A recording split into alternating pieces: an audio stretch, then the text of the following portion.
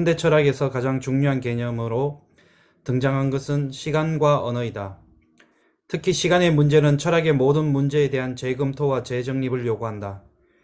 해결까지의 철학의 특징은 시간보다는 절대 정신과 같은 영혼을 강조하는 것이다. 이러한 사유는 플라톤의 이데아론에 잘 나타나 있듯이 존재자의 본질이 불변성, 시간과 관련해서 볼 때 무시간성 내지 영원성에 있다고 보았다. 이러한 사상은 서구의 정신이 강조해온 것으로서 절대자의 자기 자신에 대한 알을 의미한다. 우리는 해결이 말한 보편이 진리다라는 말 속에서 무시간적인 영혼을 강조하는 서구 사상의 특징을 엿볼 수 있다. 현대 철학은 보편과 무한 그리고 영혼의 반기를 들면서부터 시작되었다. 이런 반기의 선도주자인 키에르케고르인데 그의 철학적인 기반은 데카르트의 사유의 확실성과 대비되는 죽음의 확실성이다. 그에 따르면 가장 확실한 것은 나는 죽는다는 것이므로 우리는 인간은 죽는다는 명제보다 나는 죽는다는 명제에 더 주의를 기울일 필요가 있다는 것이다. 이러한 사색을 통해 이제 진리의 자리는 해결이 강조하는 보편으로부터 주관으로 옮겨졌다. 한편 하이데거는 그의 종교 현상학 입문에서 초대 그리스도인들의 삶에 주의를 기울였다.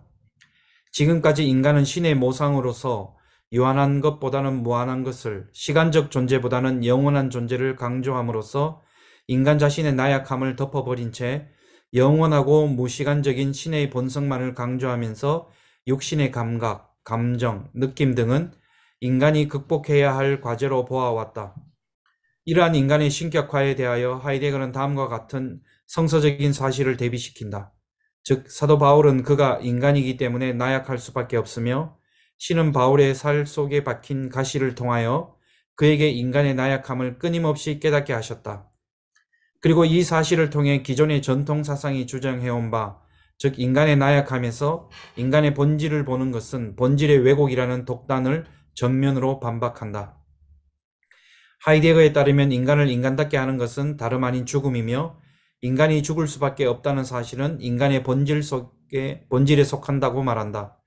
하이데거가 주시한 초대 그리스도인들의 생활이란 그리스도의 재림을 끊임없이 준비하는 생활, 즉 오늘이 마지막이라는 결단의 순간순간을 사는 생활, 선택을 강요당하는 순간을 사는 생활이었다. 여기에서 하이데거는 새로운 시선, 시간성의 단초를 확립하게 된다. 즉 시간은 결단의 순간들이지 무의미한 지금의 연속이 아니며 그리스도의 재림은 죽음이므로 이 죽음을 예비하기 위하여 결단하는 지금을 살아가는 인간은 유한한 시간 속에 있다는 것이다. 죽음과 인간은 뗄래야 뗄 수 없는 관계이다. 인간의 심리는 자신의 죽음을 자신으로부터 분리시키려 한다. 사람들은 타인의 죽음을 경험할 때조차도 죽음을 타인의 문제에 불과한 것으로, 즉 자기 자신과는 무관한 것으로 생각하려 한다. 인간은 죽음을 삶 속에서 제거하려 한다.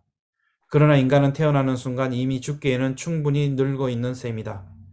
인간은 그가 비록 자신의 죽음의 때를 알 수 없을지라도 그 자신이 언젠가는 죽을 수밖에 없다는 사실을 잘 알고 있다. 자신의 죽음이 너무나 확실하지만 가능한 한 그러한 자신의 죽음으로부터 도피하기 위해 사람들은 나날의 삶 속에서 죽음을 잊어버린 채 살아가는 것이다. 인간은 죽음을 떠나서 살 수 없다는 말이나 인간은 죽음을 살고 삶을 죽는다는 말에서도 볼 수 있듯이 죽음은 삶의 종말 또는 삶의 끝, 다시 말해 인간에게 부여된 시간과 깊은 관련이 있다. 하이데거에 따르면 인간에게 시간이 주어져 있는 까닭은 그가 죽을 수밖에 없기 때문이다. 만일 죽지 않는 인간이 있다면, 예를 들어 신과 같은 인간이 있다면, 그는 영혼을 사는 것이 될 것이고, 그리고 영혼은 무시간적인 어떤 것이기 때문에 그러한 인간에게는 시간이 주어지지 않을 것이다. 그런데 인간이 실제로는 죽을 수밖에 없기 때문에 그에게는 시간이 주어져 있고 그렇게 시간을 가진 인간은 자신에게 주어진 시간을 자신의 것으로 만들어야 한다.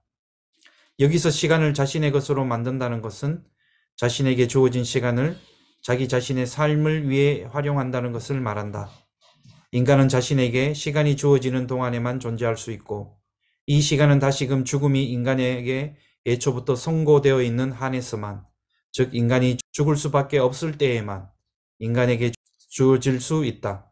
그러므로 인간은 시간적 존재로서 유한할 수밖에 없다. 시간은 종말 또는 끝과 관련된다. 이때 끝이 죽음을 의미한다면 시간적 존재란 죽을 수밖에 없는 존재를 말한다. 그러므로 시간적 존재로서의 인간은 죽을 수밖에 없는 존재이고 죽음을 향한 존재이다. 따라서 인간은 자신이 죽을 수밖에 없음을 염려하는 시간적인 존재로서 다시 말해 자신에게 주어진 시간을 스스로 떠맡아 자신의 있음을 창조해 가는 존재로 파악할 수 있다. 자 여기서 어, 굉장히 중요한 개념들이 나왔는데 예, 여러분들하고 좀 충분하게 나눴으면 좋겠어요. 어, 이 마지막 부분에서 이 기상님이 종합한 얘기는 어, 시간은 종말 또는 끝과 관련된다. 이때 끝이 죽음을 의미한다면 시간적 존재란 죽을 수밖에 없는 존재를 말한다. 그러므로 시간적 존재로서 인간은 죽을 수밖에 없는 존재이고 죽음을 향한 존재이다. 따라서 인간은 자신이 죽을 수밖에 없음을 염려하는 시간적인 존재로서 다시 말해 자신에게 주어진 시간을 스스로 떠맡다. 자신의 있음을 창조해가는 존재로 파악할 수 있다라고 표현하고 있는데 어, 여러분들이 이 얘기 어떻게 들리는지 모르지만 어, 저는 좀 답답하게 느껴져요. 이 하이데거 얘기가. 마치 우리가 죽음을 향해서 돌진해가는 병사들인 것처럼 이렇게 묘사하고 있고 죽음을 직시하는 사람만이 실존적인 사람이라고 이렇게 보는데 우리 대부분이 죽음을 의식하지 않고 살고 있다고 하는 것 자체가 실존적인 삶을 회피하고 도망다닌 것이라고만 볼 것인가. 죽음이라는 것은 그냥 자연스러운 것이고 우리가 크게 염려하지 않고 사는 것이 우리의 그냥 내추럴한 모습일 수도 있는데 우리의 삶 자체를 너무 방어적인 삶으로 죽음, 죽음이라는 것이 너무 큰 사건이기 때문에 그걸 계속 회피한다고 하는 이런 쪽에서 보고 있는 게 이게 어, 있는 것을 그대로 수용하지 않고 있는 어, 이런 뭔가 우리 뜻대로 다 몹시 이루고 싶은데 이루어지지 않는 것 같은 좌절 어, 이런 것들 조금은 자연스러운 동양적인 사고하고 다른 서양적인 사람들이 가지고 있는 안달, 안달이나 우리 표현이 적절할지 모르겠는데 뭔가 자기들 자기들 내 뜻대로 다 하고 싶은데 그게 안 되고 결국 나는 죽음을 맞을 수밖에 없어. 그 죽음을 맞을 수밖에 없다는 걸 절망으로 받아들이고 있는데 죽음이라는 현상을 꼭 절망으로 받아들일 것인가? 이건 그러니까 죽으면 끝이라고 하는 것을 여기서 아주 이걸 절대 진리로 받아들이고 있는 거잖아. 죽으면 끝이니까 인간은 자신은 죽을 수밖에 없는 존재인데 죽음을 향한 존재다 하는데 죽음을 향해서 걸어가는데 그래서 우리가 사는 동안은 이 죽음을 맞으러 가는 과정 속에 있으면서 여러 가지 염려하는 시간적인 존재다라고 그래서 자신에게 주어진 시간을 스스로 떠맡다 자신의 있음을 창조해 간다고 하는 것 자체가 이 있음이 창조 이, 여기서 있음을 창조하고 한다고 하는데 여기서 창조되는 있음이라고 하는 것이 굉장히 유한적으로 느껴진 거죠. 어, 무한과 배리된 유한이죠. 내가 사는 동안에만 의미 있는 무엇을 창조해 나간다. 그래서 어, 굉장히 한정적인 인생관. 내가 죽기 전에 무언가를 나를 존재를 내 모습을 드러내는 것이지 이것이 내가 이 죽음을 맞은 이후에는 아무 가치가 없다는 것을 전제로 이런 얘기를 하고 있는 것은 아닌지 내가 하이데거를 충분히 잘 이해하지 못하고 이 글에서만 드러나는 하이데거의 모습은 그러니까 죽음 이후의 세계에 대해서는 아무 가치를 부여하지 않고 있고 죽음 이전의 세계에 대해서는 나는 모른다. 죽음 이후의 세계에는 가치가 없는 것인데 내가 사는 동안은 나의 있음을 내 스스로 창조해 가는 것이다.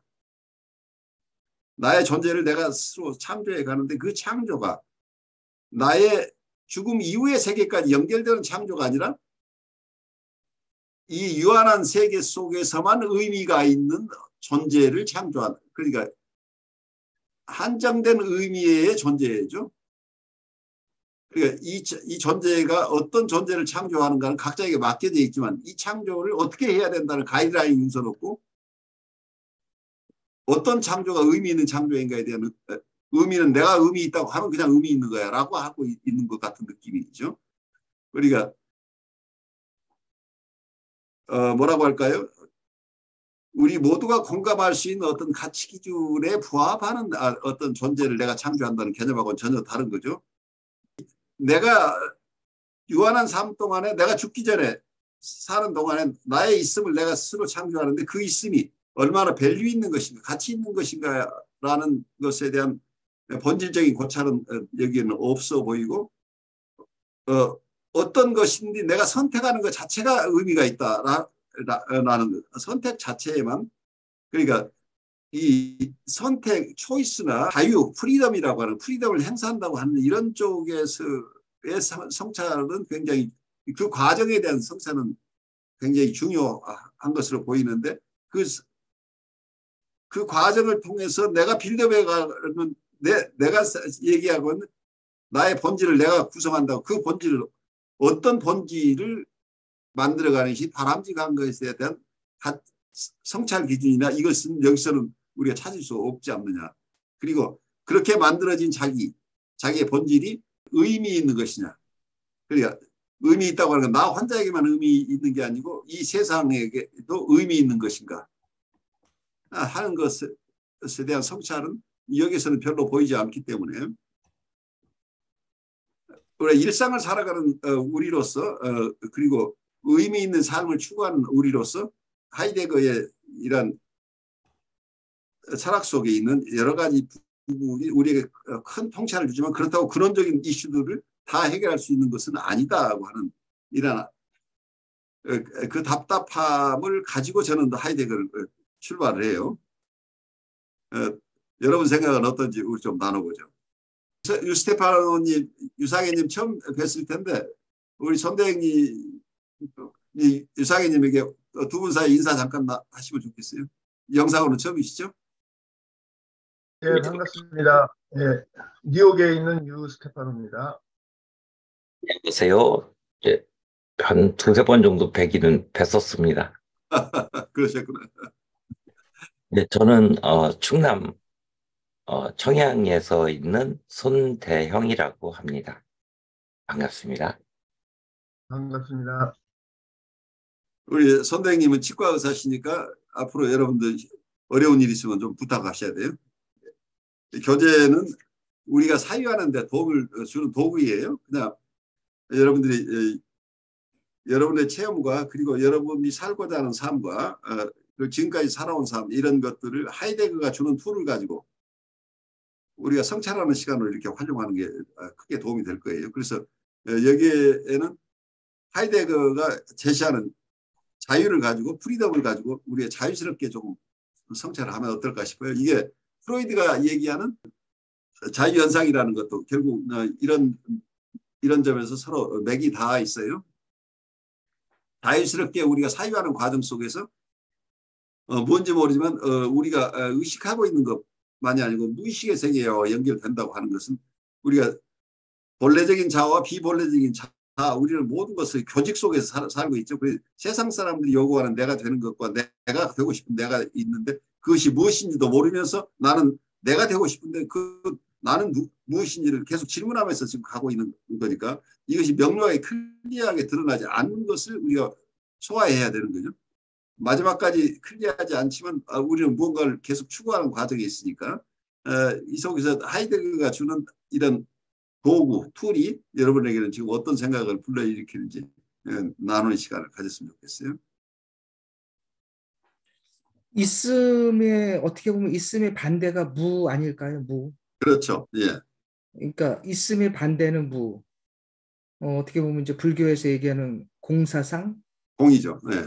네. 저는 갑자기 그 생각이 들더라고요. 그 다속 유영모 선생님이 말씀하시는 게 어, 없이 계시는 하나님, 무로 계시는 하나님. 그러니까 있음이라고 하는 거, 어, 우리가 눈에 보이는 것들, 그거는 뭐 때로는 이제 사라질 수도 있는 거고. 그렇게 본다면 생성 소멸될 수 있는 부분들이잖아요. 그렇죠. 네. 그래서 하나님은 완벽한 하나님, 전능하신 뭐 전능보다도 그런 개념 끌어오지 말고 그냥 한다면 그 하나님은 무로 계시는 하나님이시다. 뭐 이런 야. 얘기도 좀 하시더라고요. 어쩌면 서양의 가장 근원적인 어떤 어, 사고 중에 하나가 어, 이분법이죠. 그러니까 어쩌면 데카르트 지구를 얘기하면 우리의 마음과 몸이 각각 서로 다르다는 것에서 시작해 모든 것을 두- 둘러 쪼개는 패턴들인데 무와 유를 쪼개는 것 자체가 서양의 아주 어, 세상을 보는 방법 중에 하나죠.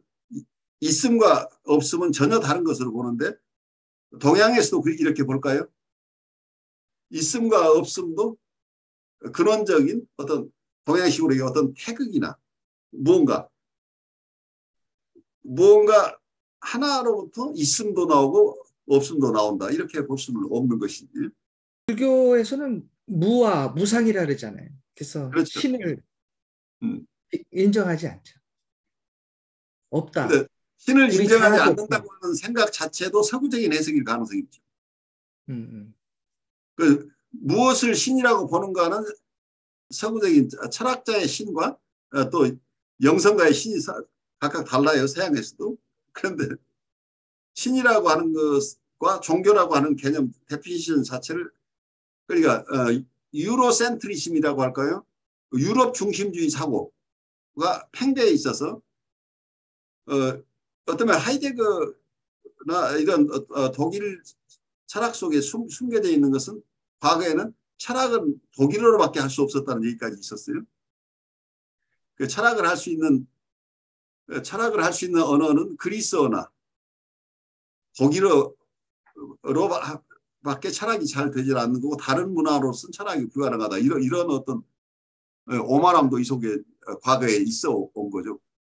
굉장히 유럽 중심주의적인 사고가 어, 유럽인들의 철학이나 어, 여러 분야에 알게 모르게 무의식에 숨겨져 있는 것을 우리가 이해를 해야 될 필요도 있어요. 그래서 철학이라고 할 때는 어, 서양에서 생각하는 철학 이외에 다른 문화권에 있는 철학은 인정하지 않는 사람들이 아직도 많이 있어요. 그건 철학이 아니다. 철학이라는 개념은 자기들이 디파인한 것만이 철학이다. 그래서 어쩌면 이, 이게 이런 생각이 들어와서 한국에서도 동양 철학이라는 말을 거꾸롭게 생각하고 동양 사상이라고 이렇게 표현하는 분들도 있을지 몰라요. 동양 철학이라고 할 때 철학이라는 개념을 서구적인 개념으로 가져왔을 때 동양이 서구적인 철학을 가지고 있었느냐? 그럼 서, 그럼 동양에는 동양 철학은 없다. 우리가 인정할 수 있는 동양의 여러 가지 또 동양의 생각, 동양의 어, 사상, 사고 뭐 이런 것은 인정하지만 동양의 철학이라고 부를 만한 것이 없다고 이분들이 느끼고 있을 수도 있다. 그래서 디파인하는 것, 우리가 언어로 표현하는 것, 개념으로 가져오는 것을 우리가 어, 조금 그 개념 이전에 무엇 때문에 이런 표현들이 나오는지를 우리가 이해할 필요가 있지 않나 생각이 들어요. 그래서 무와 유라고 하는 것이 어, 절대적인 것처럼 이렇게 이야기하고 있는데 동양의 영성에서는 유와 무 이전의 세계. 무라고 하고 유라고 하는 것들 이런 변화의 세계 이전의 세계까지를 생각하면 어, 모든 것이 하나 통합될 수 있는 어떤 세계를 얘기할 수도 있는데 이, 이것을 부를 때 서양적인 서, 신이 아니라고 한다면 그래서 신이 아- 시- 없다고 하는데 어쩌면 서양적인 얘기에서는 인격적인 신 사람 어, 어쩌면 의인화된 신을 지금 생각하고 있을지도 모르죠. 그런데 동양 사람이 생각하는 신이라는 개념은 또 다른 것일 수도 있죠. 그게 범신론적인 신은 신이 아닌 것인가 하는 여러분들 지금 잘 생각해 보시면 도- 어, 동양에서 과거에 샤머니즘이라고 하는데 샤머니즘이 꼭 어떤 종교 형태의 샤머니즘일 수도 있지만 어, 과- 과거에 제가 어려서 보면 어, 그 어, 신앙의 대상은 클리어하지 않은데 저- 정화수를 떠놓고 간절하게 기도하는 어, 분들이 많았어요. 그래 목욕 제기하고 아, 아침부터 이렇게 어떤 대상에 대해서 어, 기도하는데 그 거기에서는 어떤 어, 존재를 믿고 어, 있었는데 그 존재가 꼭 일어나야 되는 어떤 신은 아니 서- 서구적인 신하고는 좀 다른 개념인데 그래도 무언가 신앙의 대상들을 가지고 있었다는 얘기죠. 그 신앙의 대상들이 무엇인지 클리어하지 않지만 어, 우리는 인간으로서의 나- 나로서 하- 어, 내가 이 세상을 좌지우지하는 것은 아니기 때문에 나는 누군가의 조력이 필요하다는 이런 어떤 마음의 태도가 있었고 어, 제가 봤던 그 세계 속에서 아주 어, 자연 자연 속에 속에서 어, 살았던 그분들 속에도 계속 어떤 신적인 존재에 대한 갈망이 있었고 어, 종교의 형태가 아닌 상태에서도 이분들은 어, 그 어떤 그 자기가 천지식명을 차- 뭐 보통 써도 천지식명이나 뭐 뭐 이런 대상에 대해서 경외심을 품고 살았던 어, 이런 분들이 많이 있었던 거죠. 그래서 내가 이렇게 살면 안 돼라고 하는 것 속에서는 어, 명료화된 어떤 숭배의 대상이라기보다는 이 천지식명, 이 대, 대명 천지에 내가 이런 나쁜 짓을 하면 안 되지라는 생각이 숨어 있었다는 거예요. 그래서 어, 이 철학이다, 사상이다고 하는 것 자체도 어, 대학에서 가르치는 어떤 학문으로서의 어떤 종교, 학문으로서의 차- 철학 어, 이런 것들을 그러니까 학문적인 어, 어, 뭐라고 할까요? 과학적인 사유 특히 어떤 대학에서 강당에서 가르칠 만한 어떠한 분야로서의 에, 학문적인 어프로치를 하다 보니까 이 학문적인 기준에 들어오지 않는 것은 다 없는 것이다. 아니 에, 그런 것은 거기에는 존재하지 않는다고 이렇게 봤던 것 자체가 에, 우리가 어떤 틀을 가지고 이해하느냐인데 이제 그런 부분에서 동양이 가지고 있었던 여러 깊은 사상들이 서구인들에게 끊임없이 영향을 주어 왔는데 그렇지만 이, 이 부분들은 자기들이 가지고 있는 이분법에 따라서 계속 자기에 걸맞게 이것을 해석해 왔기 때문에 에, 서양인들에게 소화되기 이전 상태의 동양의 사상을 우리가 이해할 필요가 있지 않느냐는 생각이 많이 들어요. 저는 이게 존재와 시간이라는 존재는 그래도 좀 이렇게 뭐 좀 이해할 수 있는데 그 시간을 왜 거기다 붙였는가 하는 그래서 이 시간에 대한 이해가 참 힘들었어요.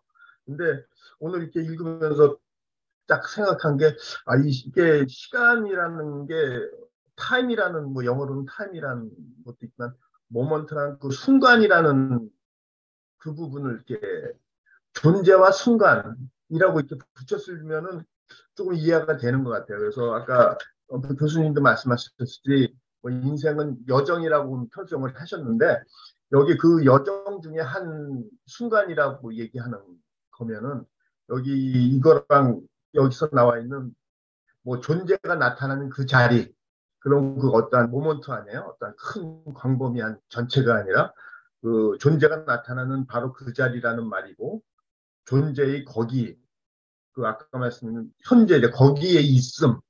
그러면 그 거기라는 부분이 어떠한 긴 우리가 생각하는 이 광범위적인 시간이 아니라 뭐 한 순간이라고 생각할 때 지금까지 배운 거에 의하면 이제 존재와 존재자, 현 존재, 이제 이제 그거에 대한 이제 어 회적인 개념보다는 어떤 시작하는 개념. 왜냐하면 그 제가 알고 있는 의식을 이걸로 다 설명이 가능하냐라고 봤을 때그 아직은 잘 모르겠다라는 이제 이런 측면이 있다 보니까 개념을 시작하는 그런 걸로 저 스스로 받아들이고 하이데거라는 사람이 어, 독특한 건가? 아니면 이제 원래 철학은 이런 식으로 이야기를 풀어나가는 건가? 만약에 이제 자연과학이다 그러면 어떠한 명제를 던져주고 그거에 관련된 증거 그, 그 증거가 왜 정확할 수밖에 없는가? 이제 이런 거에 대한 설명을 생각을 하면 어, 사전에서도 어떤 단어가 나오면 단어에 대한 정의 그리고 이제 거기에 대한 예시 이제 이런 이런 거에 익숙해져 있어서 그런지 그냥 끔없이 음, 현존재는 이제 존재를 의식하는 의식할 때 존재가 드러나고 이제 이런 얘기를 언뜻 보면 맞는 말 같기도 하는데 그거를 왜 그렇게 받아들였을까? 또 역으로 또 그렇게 생각을 하고 또 한편으로 그렇다면 그걸 다른 식으로 어 증명하거나 다른 형태의 설명이나 해설이 불가능한가? 이렇게 또 생각을 해보면 그때부터 이제 아 도저히 모르겠다. 이게 맞는 말인지 틀린 말인지 자체를 판단할 수가 없구나. 이제 이런 그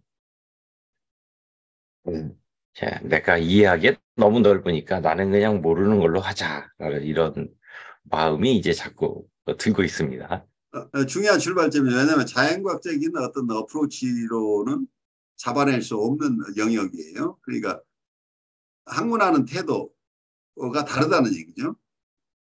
어, 그러니까 지- 지금까지 서구에서 봐왔던 자, 자연과학적인 것만이 학문이라고 봤던 것들. 그런데 원래 물질의 영역에서 물질의 영역을 탐구하는데 아주 유효했던 그래요. 우리는 어, 독립된 셀프를 가지고 있고 그 대상은 내가 관찰을 통해서 명료하게 바- 밝힐 수 있는 실체가 그게 두 개의 실체인 거죠. 나라는 실체가 있고 대상도 실체라고 봤던 이런 세계에서 이제 가설을 가지고 이- 이러한 기본적인 전제를 가지고 거기에 연구 방법을 택해서 그 기준에 따라 쭉 검증을 해 나가는 아, 이런 학문적인 방법을 정신의 영역에도 그 심리적인 영역이나 아, 이런 아, 철학적인 영역에서도 똑같이 사용할 수 있느냐 하는데 이러한 자연과학적인 방법으로는 될 수 없다고 하는 측면에서 어, 어쩌면 어, 지금 하이데거를 공부하고 있습니다만 하이데거에게 큰 영향을 준 후설이라는 분 그리고 그 이전에 브렌타노라는 어, 이런 철학자들이 가졌던 생각 현상학이라는 접근 방법을 통해서 어, 물질이 아닌 심리적인 현상이나 사회적인 현상까지도 어, 포- 포괄해서 학문으로 연구할 수 있는 방법이 이게 현상학이라고 이렇게 주장하고 있어요. 그래서 그 현상학적인 어프로치들을 도입하기 했을 때는 자연과학적인 어프로치하고 다른 영역, 자연과학적인 연구의 대상과 다른 여러 영역들을 과학적인 다- 이 과학적이라는 것을 자연과학적인 과학이라기보다는 어, 과학의 어, 범주를 넓혀서 이렇게 예, 이해를 예, 하려고 애쓰는 이런 과정이 있지 않느냐 싶어요. 그래서 이 현상학적인 어프로치가 이 하이데거 속에서도 들어가 있어요. 그래서 이 현상학적인 어프로치는 우리 정신분석을 공부하면서도 끊임없이 그 부분에 영향을 받고 있으니까 어, 여러분들도 이, 이 실존주의 철학과 함께 현상학에 대한 관심을 조금 더 갖고 우리 같이 앞으로 논의를 해나가면 좋겠어요.